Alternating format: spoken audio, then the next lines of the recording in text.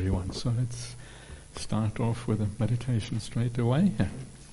And uh, I think now is a good time to take the meditation in a slightly different direction to do something else. Uh, we've been doing this for a while now, so let's see if we can uh, try some other ways of uh, doing meditation practice.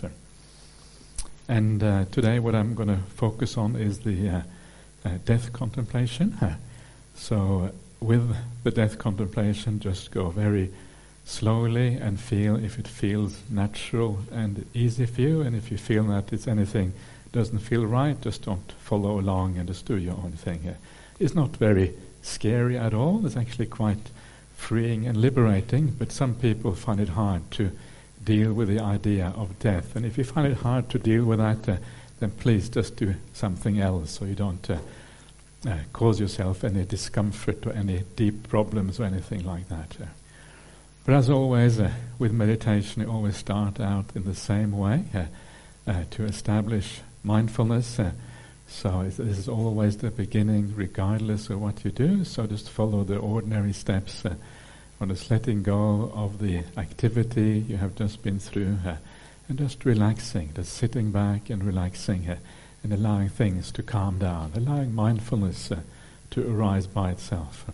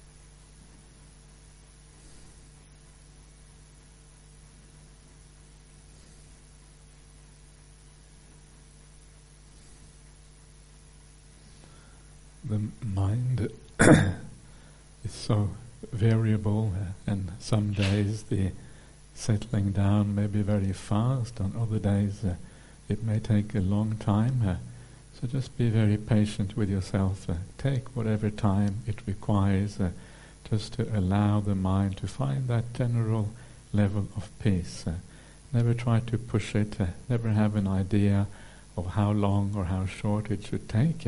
It will just vary. Just accept that variance. It all just depends on the conditioning and the state of mind and all of these things. It is fully out of control. So just stand back and just be patient.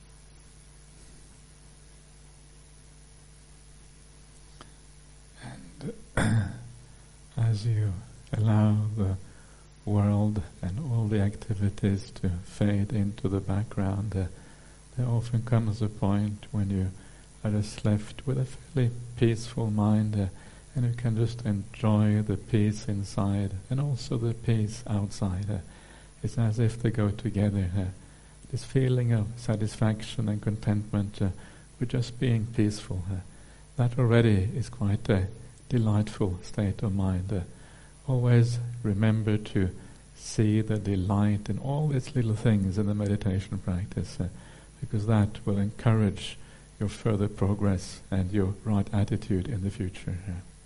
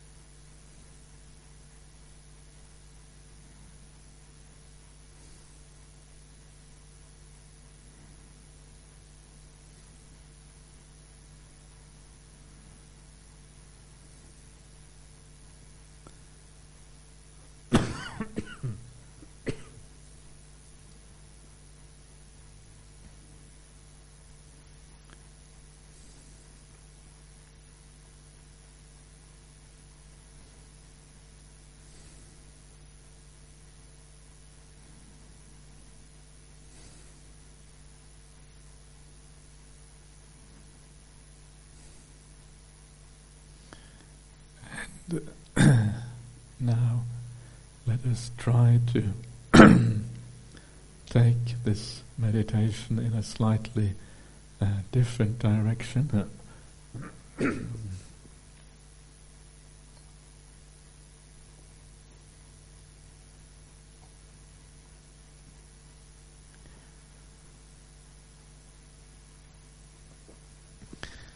Okay, so just uh, start off by imagining yourself on your deathbed. Uh, you come to the end of your life, uh, a few hours left to live perhaps, uh, and you are lying on a bed, a very simple bed, uh, just a thin mattress with a white sheet, uh, and you are dressed in maybe some white hospital clothes or something like that, something very plain, very ordinary and you're lying on your back. Yeah.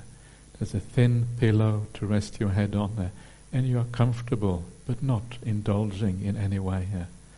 And the room around you is completely plain. Uh, there's nothing in the room. Uh, the walls are kind of pleasantly off-white. Uh, there is no window. There is no artwork. The door is closed, and no one is going to enter that door from now until you are dead. And you are lying on this bed, uh, waiting to die. You know that you only have at the most a few hours left of your life. Uh, this is the end. Uh, what does it feel like?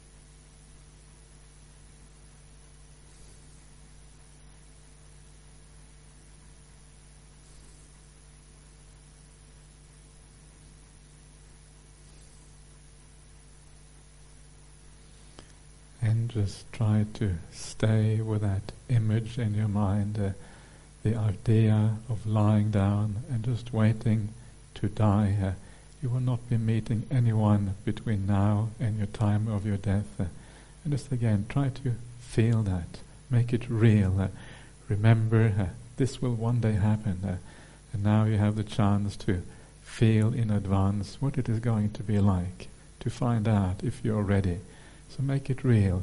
This is really the time when you are coming to the end of your life.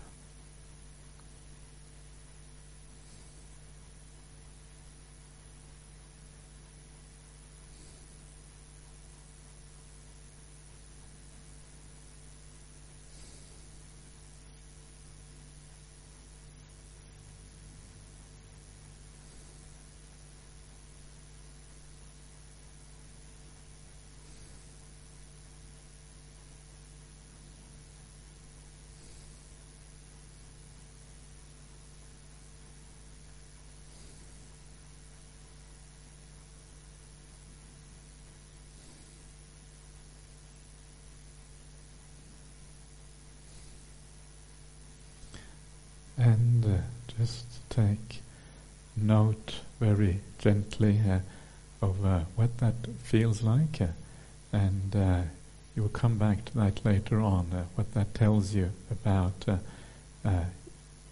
your life how you feel about this moment but for now just continue lying there and as you are lying you know that the moment of death is coming closer and closer all the time and because of that, it's becoming so clear uh, that you're going to have to abandon the things in your life. Uh, there's nothing now you can really hold on to. Uh, everything is going to have to go. Uh, and the most obvious things that are going to have to go uh, are all the possessions in your life. Uh, everything you own. the most dearest possessions you have from all your, your house and your car or whatever it might be, uh, to the very personal possessions like your clothes and everything else. Uh, everything you own is going to have to go in this life. Now it is time to give all of that up. Uh, so give it up uh, and try again to see what it feels like to give up these things uh, because you cannot hold on to them.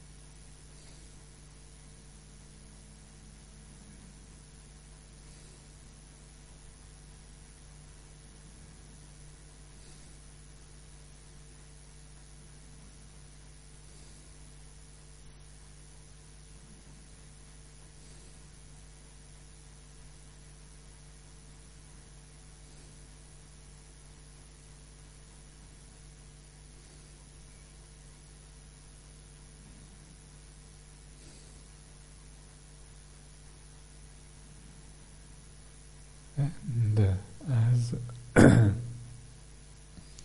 the time of your passing away gets closer and closer, uh, you realize it is not only the possessions in your life you have to let go of, uh, you also have to let go of all the people in your life. Uh, now is the time to say the final goodbye in your heart. Uh, you will not meet these people again uh, but now is the time to give up any of those holding ons to those people. Uh, just wish them goodbye, uh, and from here you have to fare on on your own. Uh, and again, see what it feels like to give up all those relationships, all those acquaintances that you've had throughout your life. Uh.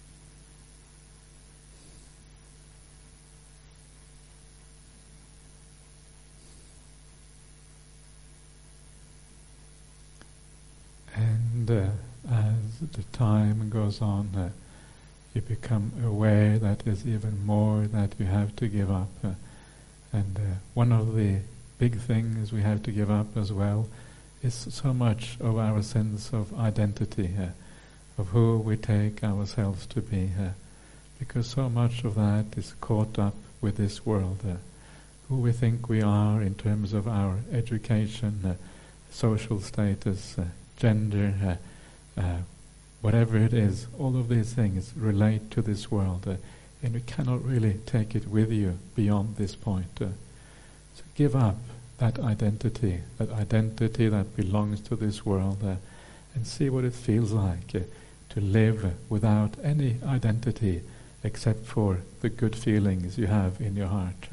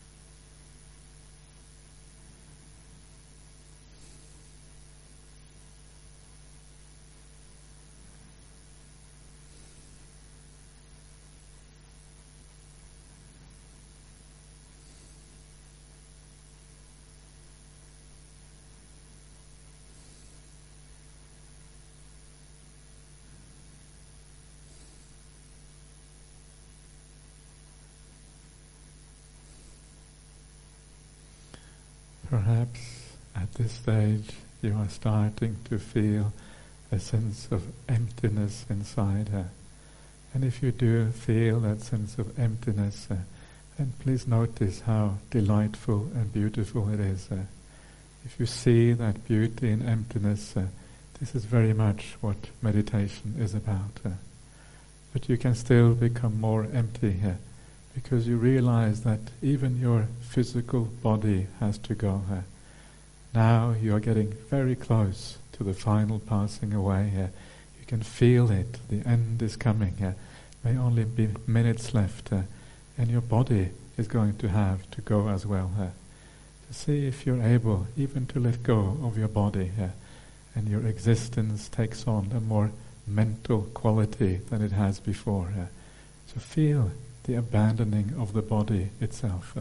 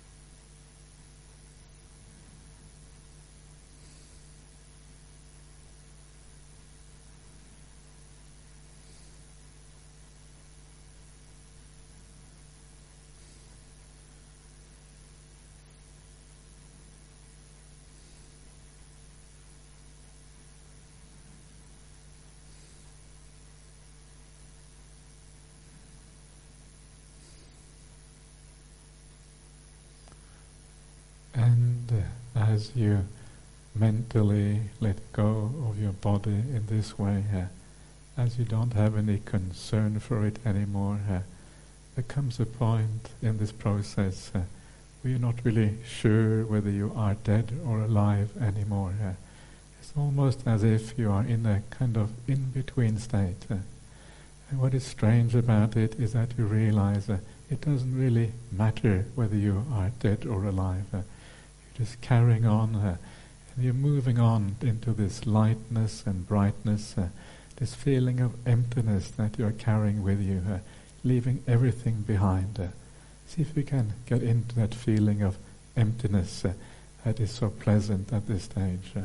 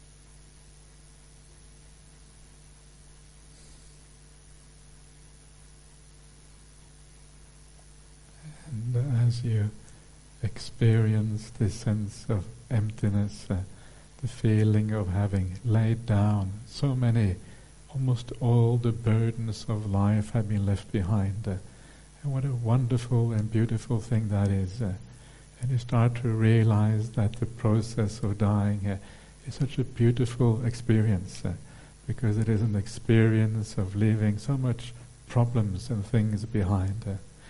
Uh, and because of that, you start to feel a sense of delight, uh, a sense of gratitude to all your kalyana mittas, uh, all the people who have helped you out on this path. Uh, what a wonderful thing that is. Uh, and the gratitude that comes with dying in a beautiful and peaceful way.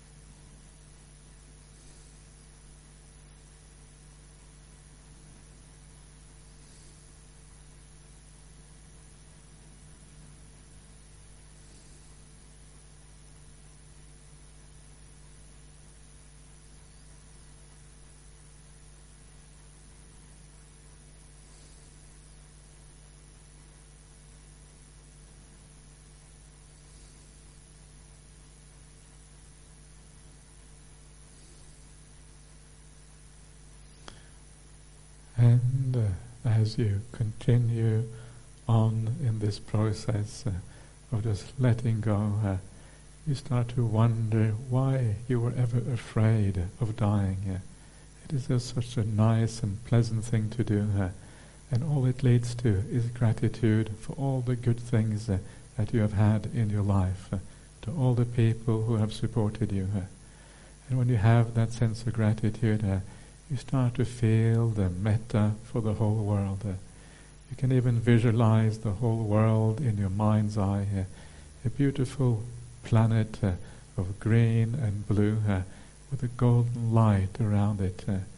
You visualize that and you have a sense of metta for all those beings on that planet uh, because you have gained so much from your experience as a human being uh, and now this is the result of that. May all those beings on the planet, uh, may you all be well uh, and may you be free of suffering here.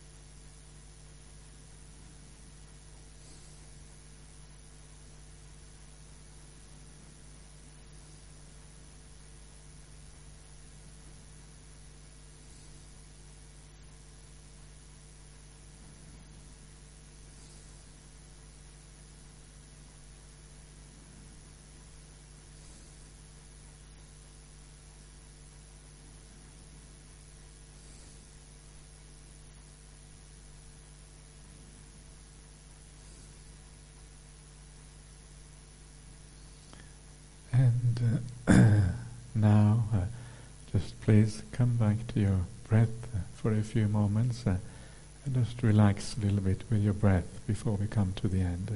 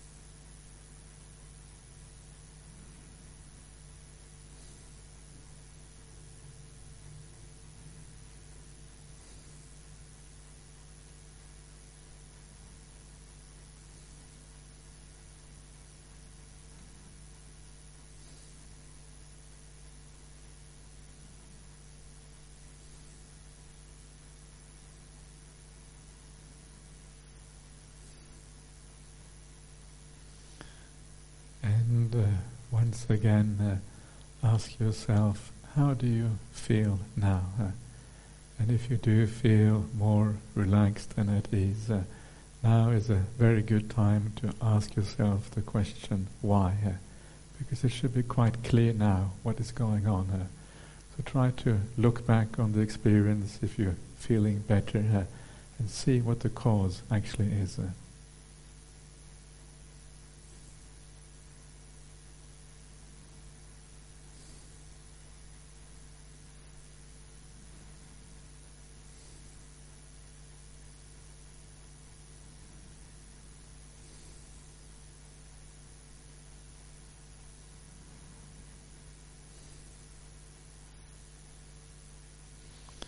Okay, so that is the end of the meditation for now.